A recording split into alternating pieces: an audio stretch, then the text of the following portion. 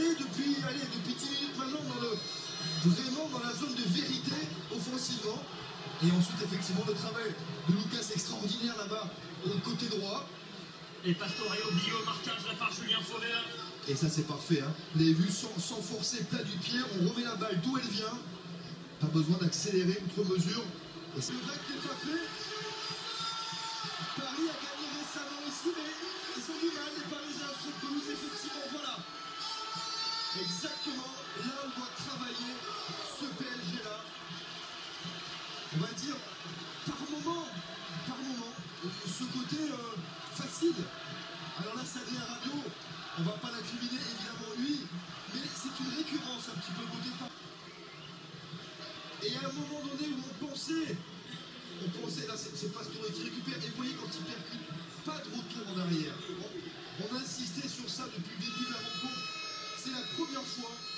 Paris amène un contre de bout en bout en avançant dans le terrain bordelais. Et comme par hasard, ça finit par un duel d'un milieu qui est bien porté le surnom. C'est à ça quoi, mais c'est encore euh, allez, ce, ce, ce contrôle orienté.